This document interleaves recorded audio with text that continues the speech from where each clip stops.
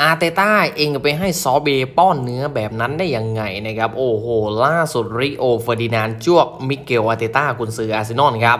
บอกว่าให้ซอลต์เบป้อนเนื้อแบบนั้นมันไม่ดีเลยนะครับ ทางด้านของริโอเฟอร์ดินานตำหนิมิเกลอาร์เตต้าครับหลังจากที่อาร์เตต้าเนี่ยให้ซอลต์เบเชฟชื่อดังชาวตุรกีป้อนเนื้อเข้าปากของเขานะครับ ขณะนั้นของอาร์เซนอลเดินทางไปที่ดูไบสำหรับทริปเก็บตัวกลางซีซั่นท่ามกลางแสงอาทิตย์ ซึ่งพวกเขากลับมาอังกฤษและระเบิดฟอร์มด้วยการไล่ถล่มคริสตัลพาเลซไป 5 ประตูศูนย์แบบโหดมากๆนะครับยังไงก็ตามคลิปวิดีโอที่ถูกเปิดเผยออกมาทางโซเชียลมีเดียซึ่งมิเกลอาร์เตต้าครับร่วมแสดงทำให้มิเกลอาร์เตต้าเนี่ยโดนตำหนิไปด้วย ขณะตอนที่อยู่ดูไบครับอาร์เตต้าถือโอกาสเข้ารับประทานอาหารที่สเต็กเฮาส์ชื่อดังของซอลต์เบครับ ซึ่งเจ้าของร้านอย่างซอลต์เบเคยหั่นเนื้อพร้อมกับโรยเกลือ และใช้มีดจิ้มชิ้นเนื้อนะครับป้อนเข้าปากลูกค้าชื่อดังหลายต่อหลายคน ซึ่งในใหญ่ของอาร์เซนอลอย่างอาเตต้าก็เป็นหนึ่งในนั้น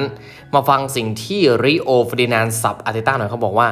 เออซอเบเคยป้อนอาหารแขกในงานแต่งของผมแบบนั้น หากผมเป็นคนจ่ายเงิน เขาจะไม่ได้ป้อนอะไรผมหรอกนะ ผมไม่เอาหรอก แต่เขาเดินไปในงานและทำแบบนั้นให้กับแขกบางคน กุนซือแมนยูไม่ได้ทำอะไรแบบนั้น มีแค่ผู้จัดการทีมอาร์เซนอลที่ทำอะไรโง่ๆแบบนั้น